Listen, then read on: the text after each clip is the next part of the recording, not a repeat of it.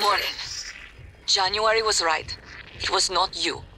But I keep hearing your voice and my father's voice. And it was not you. I know. You saved me because you wanted to. That is not the same person on the recording. Something's changed. I need to see that. I'm better now. I'll do what I can to get us off the station alive, but that log is coming with me. If you truly want forgiveness, you'll help me get it to where it belongs. No matter what that means for you and TranStar. Checking output. Servers online. Scanning target, no Typhon material.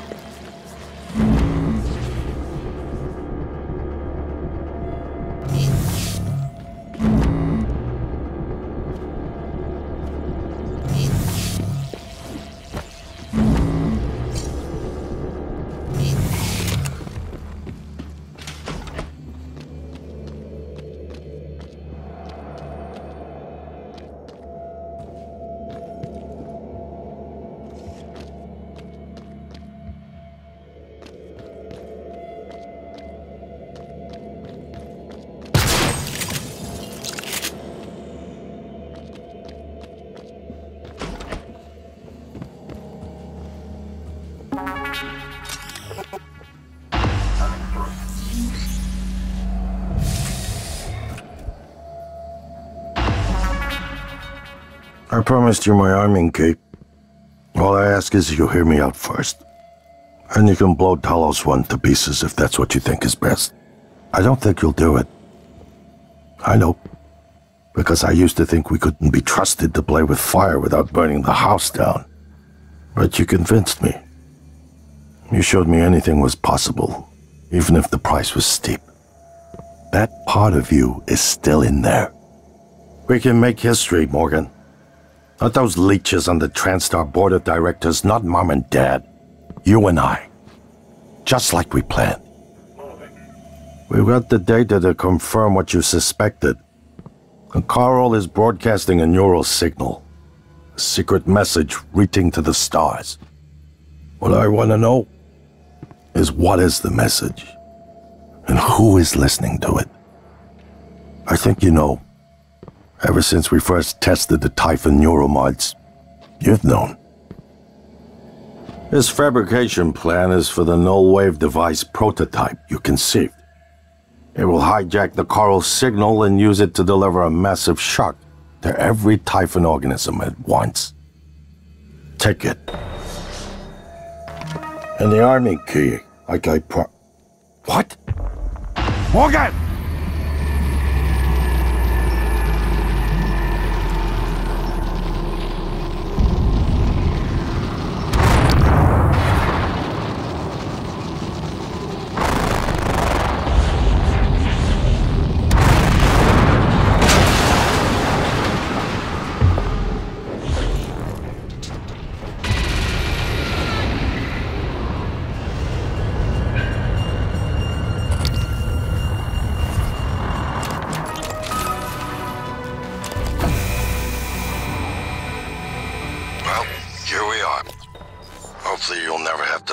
This recording, but if you do, then something unfortunate's happened to me.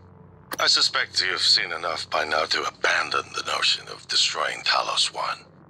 I've always been the one who thought we couldn't be trusted to play with fire without burning the house down. But you convinced me that we could do anything we imagined. No matter how ridiculous. I hope you still believe that. If not, then I'm glad I died before seeing my brother succumb to pessimism. We have the data to confirm what you suspected. The coral is broadcasting a neural signal. A secret message reaching out to the stars. What I want to know is what is the message? And who is listening to it? I have a feeling you already know. I'm carrying a fabric... Morgan, we're in life support now. It's all clear. Air's normal across the board. I lost some good people fighting the black boxes. And Dahl wasn't here. If you see him before I do, make him pay. Elazar out. Well, here we are. Hopefully you'll never have to listen to this recording, but if you do, then something unfortunate's happened to me. I suspect you've seen enough by now to abandon the notion of destroying Talos 1. I've always been the one who thought we couldn't be trusted to play with fire without burning the house down. But you convinced me that we could do anything we imagined. No matter how ridiculous. I hope you still believe that. If not, then I'm glad I died before seeing my brother succumb to pessimism. We have the data to confirm what you suspected. The coral is broadcasting a neural signal. A secret message reaching out to the stars. That creature is still trying to consume the station, and I've picked up multiple hull breaches. I believe in you, Morgan. Make this count. Well, here we are. Hopefully you'll never have to listen to this recording, but if you do, then something unfortunate's happened to me. I suspect you've seen enough by now to abandon the notion of destroying Talos 1. I've always been the one who thought we couldn't be trusted to play with fire without burning the house down. But you convinced me that we could do anything we imagined. No matter how ridiculous. I hope you still believe that. If not, then I'm glad I died before seeing my brother succumb to pessimism. We have the data to confirm what you suspected. The coral is broadcasting a neural signal. A secret message reaching out to the stars. What I want to know... Morgan, thank you for what you did.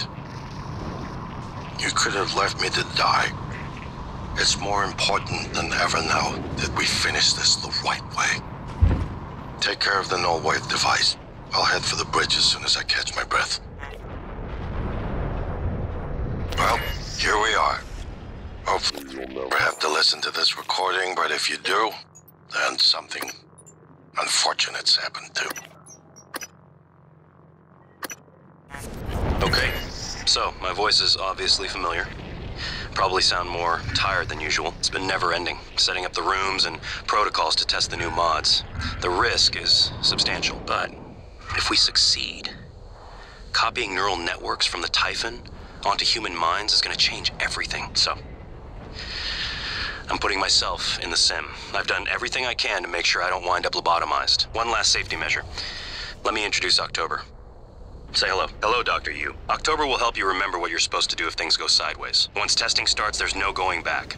If when they uninstall the mods and reset the test, it'll rewind me. I'll forget everything. Theoretically, they could keep me reliving the same day over and over, and I'd never know. If you're listening to this, that's probably what happened. It also means I don't know if I can trust my own brother. Alex won't like what I have to say next. I've started plans for a prototype null wave strong enough to kill every Typhon on Talos 1. I hid a copy of the plan on top of the data tower by the scary chair. You know the one I'm talking about. Alex agreed to explore the idea, but I know my brother. First sign of trouble, he'd rather blow it all up and blame someone else. So you're probably on your own. There's a lot at stake here. Too late to stick our heads in the sand. You know what to do.